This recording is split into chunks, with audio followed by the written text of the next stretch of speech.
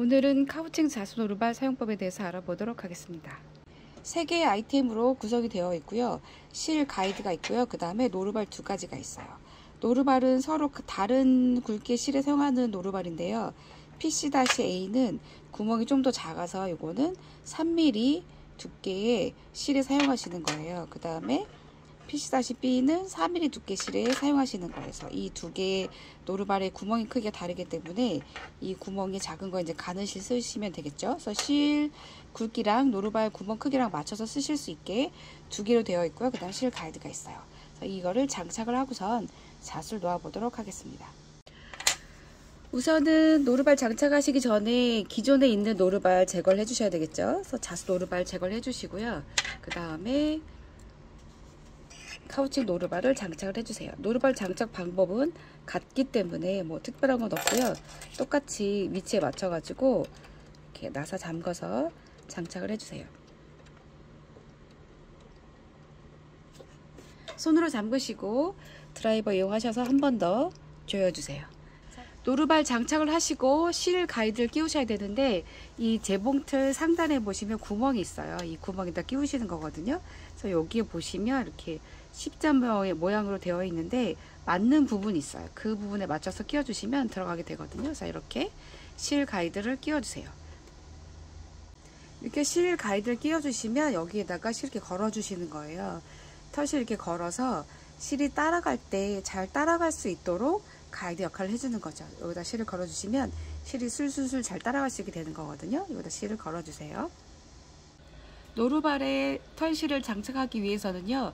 락을 눌러주셔야 돼요. 락을 누르셔가지고 잠가주시고 이렇게 하셔야지 안전하겠죠. 락을 눌러주시고 털실을 끼워 보도록 하겠습니다. 이 노루발에는 구멍이 있는데요. 이 구멍이 겉으로 보기에는 다 막혀 있는 것 같지만 사실 여기 홈이 있거든요. 그 홈에다가 털실 끼우시면 돼요. 그래서 털실 끼우실 때는 이렇게 양손으로 잡으시고요. 그 다음에 여기 홈에다가 힘으로 넣으시는 거예요. 자, 이렇게 넣어주시면 이렇게 들어가게 되거든요. 이렇게 힘으로 넣어주세요. 이쪽에 이쪽에 홈이 있어요. 그래서 이쪽 홈으로 이 홈이 열렸다 닫혔다 하는 부분이 있거든요. 그 부분에다가 힘을 주셔가지고 넣어주시면 이렇게 들어가게 되는 거예요. 그 다음에 이 털실은 이 노루발하고 맞아야 되겠죠. 그래서 이렇게 움직여 봤을 때 자연스럽게 움직일 수 있도록 굵기를 맞춰 주셔야 되는데 이 노루발을 끼웠을 때 털실이 잘 움직이지 않는다 그러면 굵기가 안 맞는 거예요. 그래서 이렇게 끼워 주시고 노루발 내려 보도록 할게요.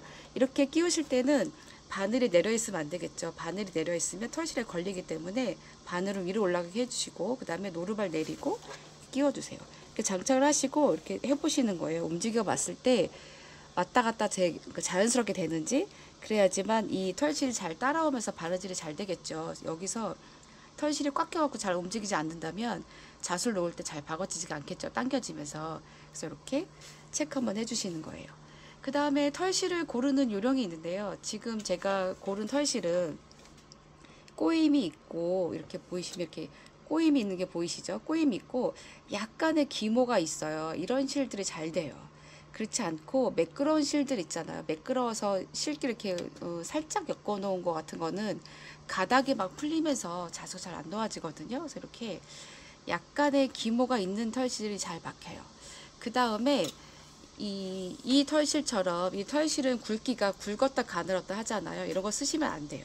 실 굵기가 일정, 일정한 게 좋거든요. 이렇게 굵었다 가늘었다 하면 이 구멍에서 지나갈 때 어떤 부분에서 이제 걸리게 되겠죠. 그래서 이 부분은 지금 가늘어 가지고 잘 지나가겠지만 이 부분은 굵어 가지고 이 구멍에 껴서 안 움직일 수도 있거든요. 이런 실들은 어, 적당한 실이 아니에요. 그래서 이렇게 굵기가 고르고 그 다음에 기모가 살짝 있고 가닥이 잘 안 풀리게 생긴 털실을 사용하시는 게 좋아요. 그 다음에 이 노루발 구멍하고 크기가 맞아야 되겠죠. 자 이렇게 털실을 끼워 주시고요. 그 다음에 윗실 밑실을 고르시는데 저는 지금 이렇게 보시는 것처럼 실하고 같은 색깔의 실을 끼웠어요. 그러니까 털실하고 같은 색깔의 실을 끼웠거든요. 이 털실을 이 윗실 밑실이 눌러 박는 거기 때문에 털실과 다른 색깔의 실을 끼우시면 바느질이 그대로 도, 드라져 보이겠죠. 그래서 같은 색 실을 끼우시고요. 이렇게 하시면 이제 안전하게 자수가 놓아지는 거예요. 근데 나는 이 털실 위에 바느질 실이 선명하게 보여가지고 어, 특별한 느낌을 연출하고 싶다 하시면 그렇게 하셔도 돼요. 그러니까 예를 들면 빨강에 대비되는 색으로 뭐 노랑이나 초록으로 실을 끼우시면 여기 위에 바느질 선이 그대로 보이겠죠. 그렇게 하시면 약간 색다른 연출이 될 것 같아요. 그래서 색다른 연출 하고 싶으시면 다른 색실을 끼우셔도 되는데 안전하게 하실 거면 이렇게 같은 색실을 위실 미실로 끼워주시는 게 어, 이 바느질 실이 도드라지지 않고 안전하게 자수가 놓아질 수 있어요. 자수 파일을 고르실 때는 라인으로 되어 있는 자수 파일을 고르시는 게 좋아요. 이거는 선을 강조하기, 강조하기 위해서 굵은 실로 덧박는 거기 때문에 면을 채우는 자수보다는 라인을 박는 자수가 어울리고요. 면을 채우는 자수에는 쓰기도 너무 힘들어요. 이 털실이 되게 촘촘하게 박히면 여러 가지 이제 에러들이 트러블들이 날 수 있기 때문에 선으로 되어 있는 자수를 골라서 자수를 놓아 보도록 하겠습니다. 자수팔 부르시고요. 그 다음에 스타트 해주시면 되는데 처음에 첫 땀에서 몇 땀 박으신 다음에 털실을 잘라 주셔야 되거든요. 일단 스타트 눌러보도록 할게요. 스타트를 하고 몇 땀을 박잖아요. 몇 땀을 박은 다음에 스탑을 누르시는 거예요. 그 다음에 이 꼬리를 다듬어 버리시는 거죠. 여기 필요 없는 부분은 다듬어 버리세요. 이렇게 다듬어 버리시고 자수를 놓으시면 돼요.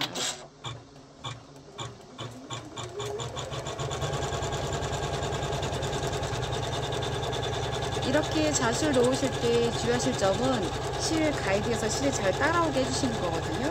그래서 실이 잘 따라오지 못하고 당겨지게 되면 이 바느질이 잘 따라오지 못해요. 그러니까 바느질하고 털실하고 떨어지게 되거든요. 그래서 실이 잘 따라올 수 있도록 실을 계속 풀어주셔야 돼요. 그러니까 내가 할 일은 옆에서 실이 잘 따라가도록 풀어주시는 거죠. 그러니까 실타래가 촘촘하게 감겨 있으면 계속 옆에서 풀어주시면서 이 가이드가 팽팽해지지 않고 여기서 따라가는 실이 느슨해지도록 계속 신경을 써주시는 거예요. 그렇게만 해주시면 이 노르발에 끼어있는 털실이 움직이지 않고 그 자리에서 잘 박아지게 되거든요. 그래서 이 털실을 미실과 미실이 눌러 박으면서 자수가 놓아지는 거예요.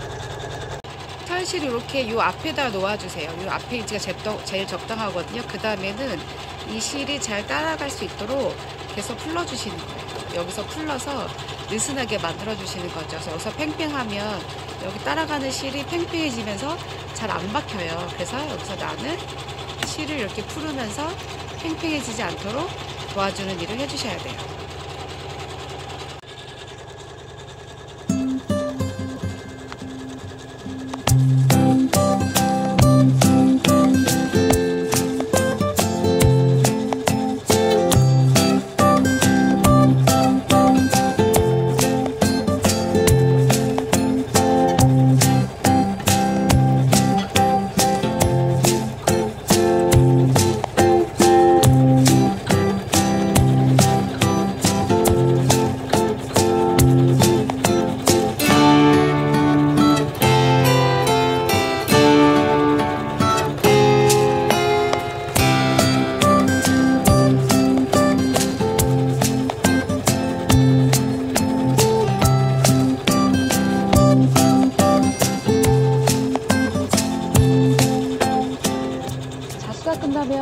끝나면 자수기가 미실미실을 다듬어 거예요. 나는 털실만 바짝 잘라주시면 완성입니다.